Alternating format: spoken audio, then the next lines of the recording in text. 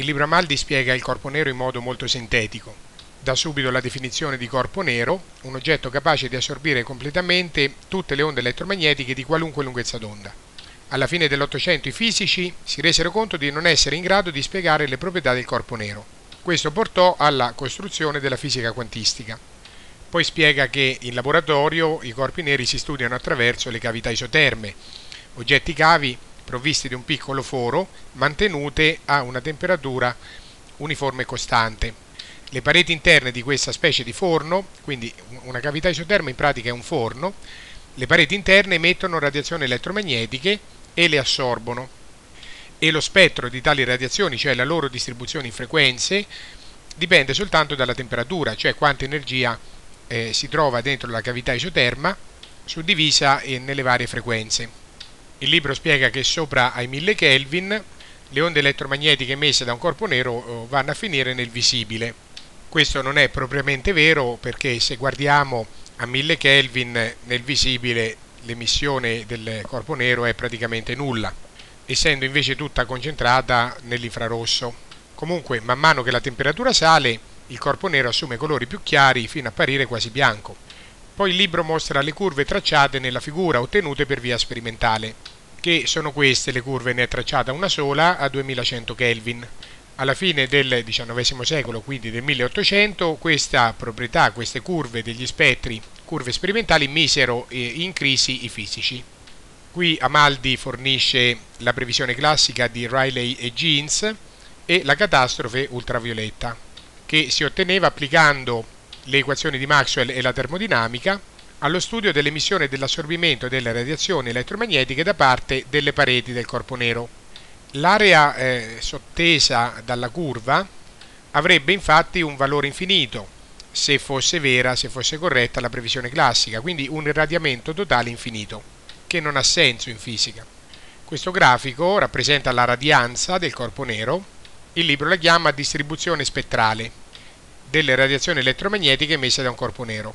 Il fatto che l'area eh, sotto la curva sia infinita è una evidente violazione del principio di conservazione dell'energia e fu definito catastrofe ultravioletta. Nel 1900 Max Planck riuscì a spiegare le curve sperimentali, assumendo che gli atomi delle pareti interne della cavità non scambiassero più energia in modo continuo con le radiazioni elettromagnetiche in fisica classica lo scambio di energia era continuo, cioè nel senso che poteva avvenire senza pacchetti di energia. Invece Planck introdusse un'ipotesi nuova che gli scambi energetici tra gli atomi della cavità e la radiazione elettromagnetica avvenissero attraverso lo scambio di pacchetti di energia che non, non fossero riducibili a zero, quindi come se fossero delle monete in pratica.